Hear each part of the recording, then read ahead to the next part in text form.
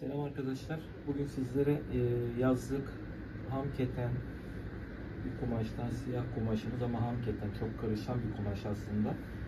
Kolsuz erkek yaka bir çalışma yapayım dedim. Yazın çok rahat kullanabilecek bir çalışma. Kolsuz çalışmalarda kol oyuntuları e, daha az kullanılır bilginiz olsun. Yaka biraz rahat açık bir yaka olacak. Erkek yaka dediğimiz olay arkadaşlar doktor ve öğretmen önlüğü kullanılan yakalar bilginiz olsun. Şimdi çalışma için ilk önce kumaşımın kenar kısmını bakın kenar kısmını atıyorum.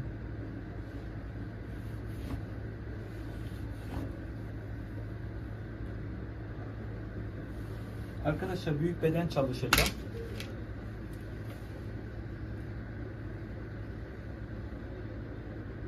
Dokuz santim yakayı açtım. Aşağıya doğru da 9 açtım. Yaka oyuntumu verdim. Normal omuz açım 3 santim. Kolsuzda 3.5'u rahatlıkla kullanabiliriz. Boyum 70 arkadaşlar. 1 santim dikiş payı indim. Bakın 70 ve 2-3 santim dikiş payı kullandım. Bu bedende beden düşüklüğümüz aslında 30. Büyük beden çünkü. Beden hattımızı çizdik.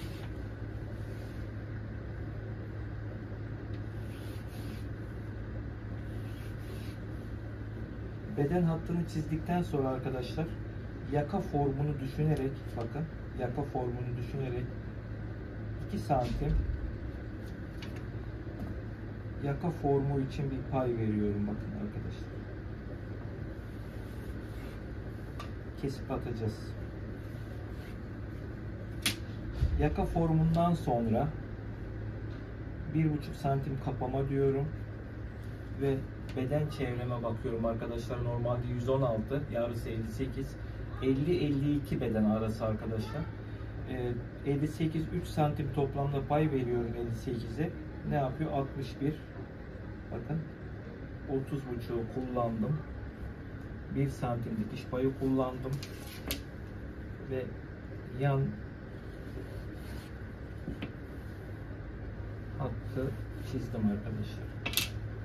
Omuzumuz 10 santim. Dikiş paylarıyla beraber kol biyesi çevireceğiz. Yaka yapacağız. Toplam 12 santim arkadaşlar. Bu çalışmada kol oyuntumuz kolsuz olduğu için 24 santim olacak. Biz beden hattını yukarı alıyoruz.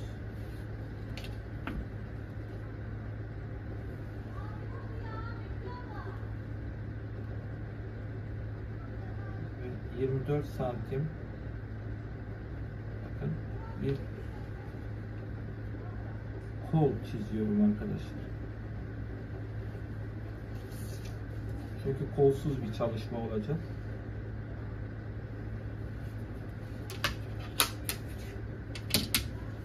Sonrasında yakada ilk düğme başlangıcım 11 santim ve bu 11 santimden sonra arkadaşlar yaka formu dediğim olayı hemen şöyle göstereyim.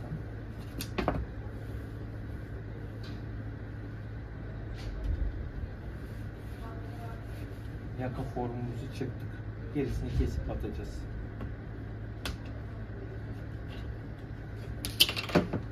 Keserken göstereyim.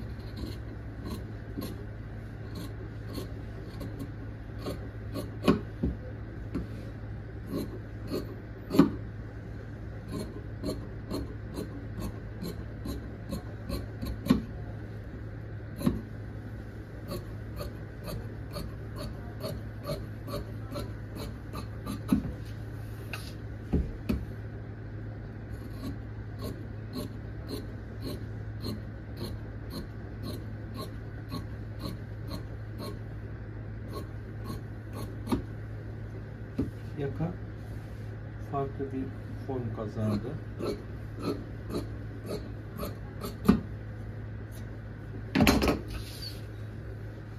Klapa çalışırız bu yakayı arkadaşlar. Şöyle yazlık bir yaka.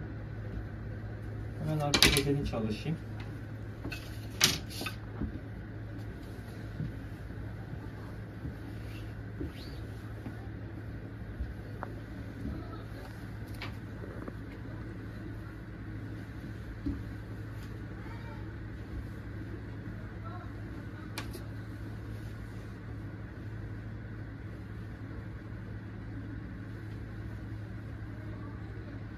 Bir buçuk santim kapamayı dışarı atıyoruz arkadaşlar. Bir buçuk santim dışarıya atıyorum.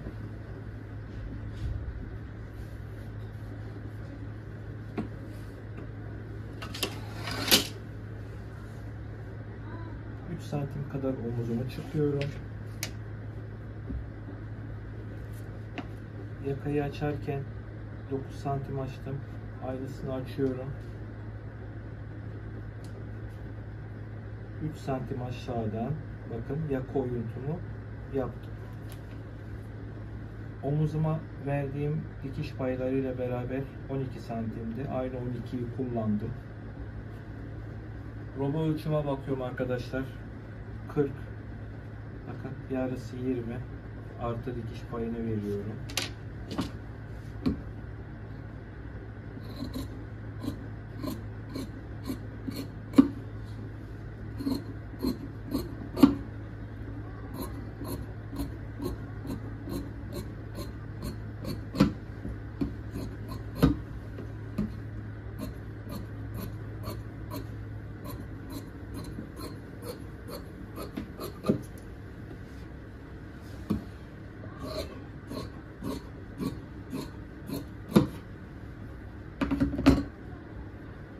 Arkada tamam. Klapa keseceğim ve üst yaka keseceğim arkadaşlar.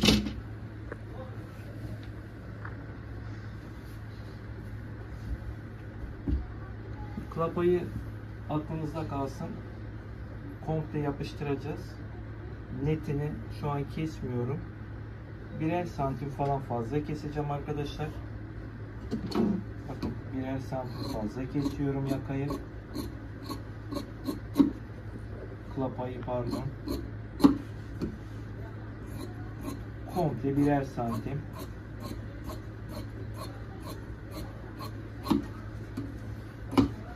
Üstten de arttırdım. Bakın kaldırdım.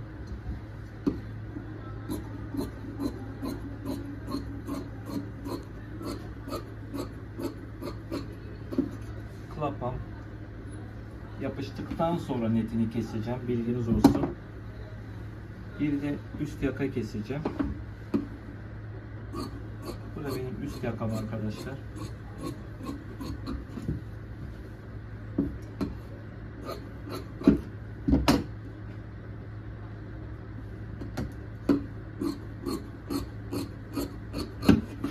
Evet. Bununla yapıştıktan sonra yine netini keseceğim ama dilerseniz gene üst yakayı çizeyim ben size. Ortalama 40 santim falan olacak yakamız. Bakın. Yarısı katı. 20 santim çiziyorum. 20 santim çizdiğim yerden 20 santim çizdiğim yerden arkadaşlar önce yerini bildikten sonra 1-1,5 santim yukarı çıkıyoruz. 1 santim bir meyilimiz var. Bakın ondan sonra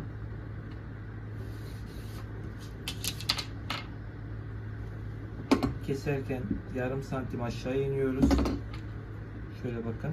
Yaka biraz oval gelmek zorunda alt olarak. Yukarı çıkıyoruz. Alt yakamız klapa çalıştıktan sonra neti arkadaşlar ortalama 4 santim olacak. Şöyle bakın. 4 santim. Üst yaka 1 santim daha büyük olmak zorunda. Alt yaka 3,5 ise üst yaka 4,5. Alt yaka 4 ise üst yaka 5 net olacak. Dikiş paylarıyla 6 bakın. 6 santime çıktıktan sonra düzgün bir şekilde çıkarsınız. Yakanız hazır olur. Tabi ben şu an kesmiyorum. Yapışkanını yapıştırdıktan sonra keseceğiz arkadaşlar. Kola gelince omuzları vurduktan sonra Bakın. Omuz çalışmasını vurduktan sonra kol olayını biye ile çevireceğiz arkadaşlar. Komple biye ile çevireceğiz. Klapa ve yakayı takacağız. Yanlarını vuracağız. Bitecek. Çalışma bu kadar arkadaşlar. Bir dahakine görüşmek üzere.